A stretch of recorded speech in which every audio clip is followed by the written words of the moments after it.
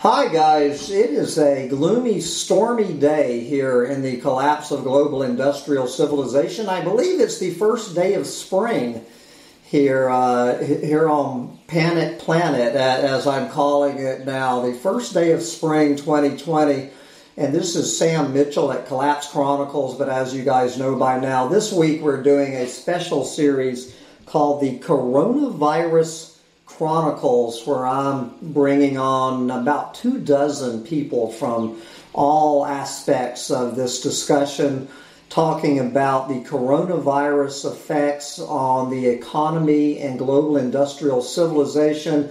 And my latest guest, she needs no introduction at all. Uh, she is the brains, and I do mean the brains behind our the excellent website, Our Finite World. I have had this woman on the show before, and we're welcoming her back again today. Gail Tverberg, come on and say hello to the folks, and we're going to dive right into this rousing discussion. Hello there. Okay. Good to be with you. Okay, so Gail, uh, like I'm doing with all my guests, I'm just starting with the overarching question is the coronavirus the trigger that so many of us have been waiting for to trigger the beginning of the end of global industrial civilization? And why or why not? I guess I would say it's the reaction to the coronavirus that is what is causing the trigger to the beginning of the end of civilization the reaction by the by the general public is what you're talking about more than the reaction by the uh, official government agencies. Is that what you're referring well, to? Well, it's the reaction that that the this whole idea that we humans are in charge. The epidemiologists have come up with this great plan of how we can hold it back, and so they t- convince the politicians and they tell the public that yes, if we just do these things, we can we can be in charge and we can fix the whole problem. And you're not buying it. You're, you're not uh, you're not agreeing that we can. No, no, there's no way that eh, no matter what we do, we don't fix it. You know, we can just you know, it's sort of like putting a big wet blanket over the economy. And you know we put it on there and we just smother the economy for as long as we choose. And then we go oops oh, we can't take the wet blanket off. It's just too bad. That's the way it worked. And we're just going to have a permanent wet blanket on the economy from from here on out uh, and the coronavirus is just one more one more reason for that the, the coronavirus will continue to circulate. What we're doing is lengthening the length of the time that the coronavirus will be with us. How are we doing that? Well, if you're damping down the percentage that have it now, you increase the number who will have it later. All of these little graphs they show you are demonstrating this fact, you know, and they don't put a little timeline on it but you know it's going to be back for years. So, uh, and in fact, it probably will keep mutating. So, so uh, well, uh, uh up up, up until the last couple of words, I'm a little confused. So, do you consider uh, the the main threat to global industrial civilization from coronavirus to be from the virus itself? or from all of the knock on uh, economic uh, effects that are going to play out over the next who knows how long uh, to ultimately do the most damage to uh, global industrial civilization? The economy was in pretty bad shape to begin with, but it basically cannot withstand this wet blanket being put over the top of it. Yes, so so, where would you place uh, at, at, at, this point, uh, with all the craziness that we've seen un- unrolling, and j- just in the past, good Lord, just the past week, Where do you now place the coronavirus in the list of threats uh, uh, uh, against civilization? Is it is it worked its way to the top? Is it at the very bottom? Is it nowhere on the list, or is it just one more piece of the mix that's uh, working together?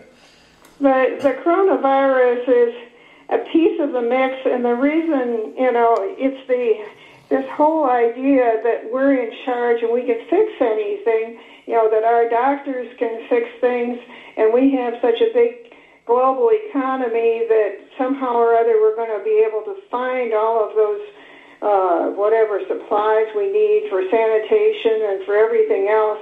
And we can have this all go on besides everything else that we normally have go on, and there will never be a problem with it. And, you know, somehow or other, this damp down virus, we can damp it down so it even almost disappears or something, or maybe there's going to be a vaccine that magically appears. But it just doesn't happen that way. So this is. Uh, do you see coronavirus is this something we're going to have to figure out uh, a, a, way to live with? Uh, and and the way that they're coming up with is not a workable way to live with coronavirus. I think it will collapse the economy. And so, whether we live with it or some remainder of the population lives with it, uh, it will be with us for a long time, probably. Okay. Certainly, it will be coming around for at least a couple of years, but it may come around indefinitely, just depending on how it works out. Just joining the place with, with everything else, with flu, heart disease, cancer uh, right. car wrecks, suicides. It'll just be one more one more thing that can kill us.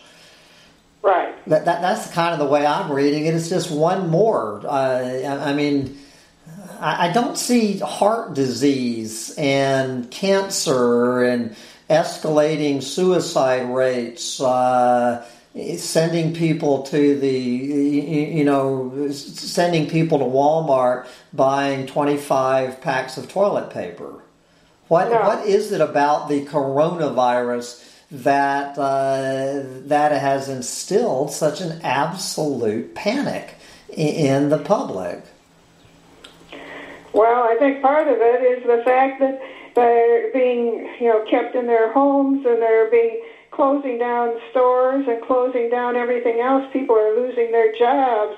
You know, they fear that the shelves of the stores are going to be empty, and they are. Well, yeah, it's a it, it, it's a good fear because they they made them empty. Uh, by, by all the, the, the, the panic buying and the and, and the hoarding. I want to talk about. So it sounds like you're not real satisfied with the uh, rea- the reaction. I want to before we get deeper into the public reaction and what that means. Uh, I, I want to talk with you. I think more about the official government reaction, which is getting more and more with each passing day, more and more draconian. I think we can all agree more authoritarian, more draconian. I guess the entire state of California is on lockdown uh, today now. You see more and more quarantines, lockdowns, businesses being uh, taken, you know, shut down. I guess Donald Trump pulled out some law out of his back pocket where the federal government can start telling businesses, private businesses, what they can and cannot do with their businesses.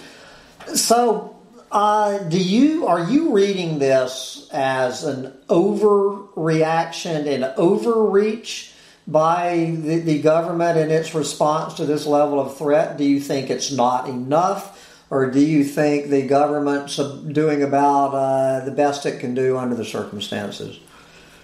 I think they've done a whole lot more than they need to. I think they should be saying, you know, well, we'll all catch this, and this is the way it is, folks. So, uh, okay, you, you, I, I, want you to know, Gail, you are the first person, I think you're the 22nd person I have interviewed. You are, you are the first person to uh, risk your social media standing uh, by, by coming out with that statement. And I congratulate you for your honesty and, and your bravery, and I hope it doesn't come back to haunt you too bad that. Uh, so so why do you why do you think it's no? Where where is the government overreaching? Well, I think it, well, I think it's really goes back to the epidemiologists and these others who think that they have a whole lot more power than they do. And they don't understand that we have an economy that's connected with everything else. And, uh, it, uh, you know, when you take productive people out of the workforce, you are collapsing the economy. And it brings the prices of commodities way down, and it drops the price of oil, it right, drops the price of all kinds of commodities. For instance, uh, the phosphate rocks that we use for fertilizer way down. So it interferes with the whole system so that the system collapses. You know, we can't have food. And so the empty the stores empty of food. So, you know, we're doing something that's really rather uh, you know, a, a wet blanket on our system, and it's something that is very, very harmful to the system. So, uh, uh, okay, it sounds like you're willing to uh, to go to what I call my third rail question. I, I, don't have my questions in front of me, and neither do you. But I but I but I've asked them of enough people. Now, a lot of folks that I've interviewed don't even want to go where I'm getting ready to go but it sounds like you might be willing to. So, I, I, since you since you were voicing a concern of government overreach, so my question is, do you think the the level of threat being posed by coronavirus to to humanity, uh, the, the the response by government that does that does government have the right to curtail such uh, such basic freedoms that we're supposed to be enjoying, such as freedom of assembly and more and more freedom of movement? I'm hearing about even the pursuit of happiness. Or do you think it should be left to individuals to assess their own level of threat and, and decide how they want to uh, respond to it? Well, basically, I don't opine on politics. Uh, what I opine on is how this is likely to work out, and I think the top level of governments are likely to be overthrown in a lot of places. I think, like in China, you know, you've got the top level, and uh, you know, got President Xi, uh, you know, and all of these people at the top dictating what's going on uh, and you get the top level disappears. And in the United States, we're at the risk of the top level of government disappearing. You know, that's just it, it, it just can't work out, and you lose the European Union piece uh, because people become unhappy, but also because there just aren't enough resources to allow this top layer to continue. But what, what I am seeing and what others have pointed out to me, at least at this phase, is I am seeing so many people, and, and, on both sides of the political spectrum, this is not a left right split paradigm, right. that I see more and more people cheering on and demanding that the government become uh, more authoritarian and draconian in their measures. Uh, are you picking up on that? that seems to be the direction that you know what we you've got to save us from this terrible, terrible virus kind of thing. And going, come on now, give us a break. You know, doesn't your immune system do anything? Uh, you know that that what happens is that there's not enough energy per capita to keep the whole system going. And part of what you can't support is these top levels of governments. And what I see is happening is that these governments will eventually collapse. But but not because of a, a, a revolution of uh, uh, of the masses. It, it, it sounds it could be in some cases in some cases, it might be revolution. You know, we've seen what happened in France. You know, when they were having all of these things, we tried to raise the tax on this and that.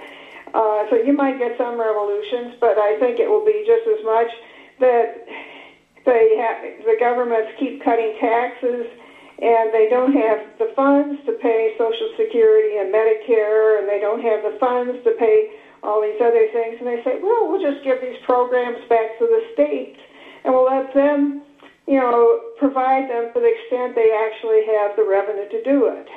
And maybe it just dwindles away so that they really have much less to say about anything. Or maybe they disappear altogether when they can't pay all the debt and all of the uh, and all of this funny money becomes more and more of a problem. Well, they're certainly printing more and more of that. Uh, what do they call it? Helicopter money. Uh, right. I'm waiting. I'm waiting for my check. I'm, I'm sure you are too. So anyway, I, I, I want to talk. Let's move, shift the conversation since we're already 16 minutes into this. Uh, what do you think? Uh, I mean, what are you making of the re- reaction of the general public? So I don't know what it's like where you are, but here in Texas, you know, it it's looks to me like the opening uh, the opening shot for Mad Max. Uh, are you surprised by all of the hoarding and panic buying and ramping up of gun and ammo sales and all that, or is this what you were you've been talking about, expecting to see? Well, if I if somebody started dictating all these goofy things to me, I think the first thing I would think of is you know the the economy is collapsing, and I need to you know make sure I've got enough stuff in my pantry. So it was not a big surprise. So yeah, I mean, it, it, it's kind of like a contradiction. On on one on one hand, is is wow, look at this, but on the other hand, is you know, it's human nature when uh, when in panic. To it, it's it's just a natural reaction to a to a panic. Do, do, do you think the panic is being overblown, and, and do you blame any of that on the media? Uh, I think there's a real danger ahead. Uh, I, I, I, not the food in the stores. What would you say is the main? What what what do you see as the main danger ahead, stemming from? Well, from... the all the broken supply lines. Uh, you know that the and the financial system essentially collapsing, and as I was saying, the top level of the government collapsing. Yeah. So, uh, so obviously, Gail. I, I mean, I, I, don't want to put words in your mouth, but you you don't think that this uh, coronavirus episode is going to be the, the final bullet in the chamber. That it's uh, that there's going to be other things coming along on top of it that that are going to be far worse. There's everything all acts together and everybody, you know, nobody is going to really quite understand what caused what or whatever. I mean, China was in terrible condition back before the end of the year. You know, they had lost automobile sales two years in a row. You know, their people were not doing well. And that put them more in a position that they were uh, more vulnerable to the virus and such things. So there's a whole lot of things that go into this together. Um, but I think that what's happening is that the low oil prices, the low gas prices, the low coal prices are going to push the economy under. And, and maybe we'll have some new kind of economy, but it doesn't have the same central governments that we've had in the past, and it has lots fewer population because there's shortages of food and shortages of many other things. So, do you think that there is a risk? I mean, speaking speaking of uh, uh of, of, of literally people dying, that that the coronavirus, the knock on effects, the knock on economic effects being triggered by coronavirus are ultimately going to be responsible for more deaths than if we had just let it ride out its course. Yeah, I think that the that the you know the wet blanket effect is going to be a great deal worse than just the coronavirus effect. The coronavirus is relatively small in the whole scheme of things. Yes, it is. So, are you of the? Uh, a lot of people are talking about uh, that the, the silver lining in, in this, as far as humanity is concerned, is that some sort of critical mass is going to awaken from uh, and actually learn a lesson from this, and and we are going to a new paradigm is going to arise from the ashes. Do you see a possibility of a positive outcome down the road, or do you think it's just going to be right back to business as normal once once crisis mode wears off and we're just waiting around for the next axe to fall? Well, I think there's going to be such great changes that we're not even going to be able to compare the, the you know present to the the new state. There will be a much smaller population uh, after all of the things settle. It, it it just won't be the same. I think that during this time there are silver silver linings that you know families are closer and uh, that you know you appreciate more of what you have but in terms of this new understanding and all of this stuff, I think we're kidding ourselves. This is this is really coming to collapse right now. Yep. Okay. Then always we want to finish on the the only positive angle that I've found much. Uh, if we were not talking about humans, but from a planetary perspective and our fellow Earthlings, is this quite the crisis to our fellow earthlings that it is to humans? Is it the crisis to the fellow earthlings? Well, the, the, the laws of physics operate to make the whole thing work, and, and I think it would work out perfectly well regardless. You know, it, it, it's not our responsibility to, quote, save the planet. The, the, you know, the ecosystem will save itself. And, you know, it, it, this should give everything that Greta Thunberg would ever want. You know, we'll stop all the oil, stop all the gas, stop everything, but you also stop the population. I have not heard Greta's input. Maybe I should have called Greta uh, to get her opinion. Anyway, uh, Gail Tverberg, I do not know where 23 minutes of uh, my life has just gone. I feel like you just got on the phone. So stick around for just a minute after we wrap this up. But guys, I, as much as this pains me to say, I am going to have to uh, wrap this up. And if you enjoyed what Gail had to share with us, please thumb up this video and subscribe when you're over here. And Gail Tverberg, we really appreciate you taking this time out on your birthday. Happy birthday to Gail on your birthday in this busy week. And we really appreciate that. We'll let you get back to your birthday. And more importantly, keep up the good fight. Thank you. Bye, guys.